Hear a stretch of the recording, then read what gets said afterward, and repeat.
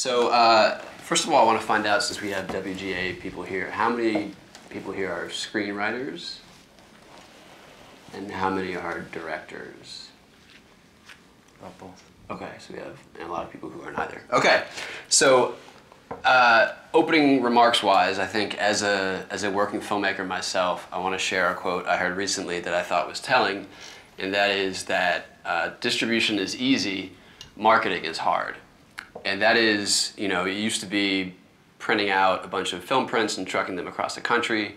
Uh, that was hard. It's no longer hard to upload something to YouTube.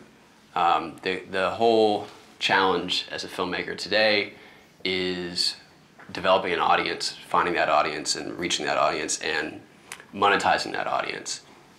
So I think this panel being called the future of digital distribution and content creation, um, you know, I, I want to take a look at it from the perspective of planning from the very beginning uh, to find that audience when you do release the content.